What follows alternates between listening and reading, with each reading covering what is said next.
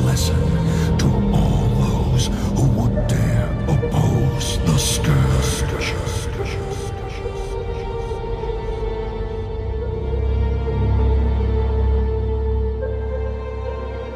Go forth and defile these lands.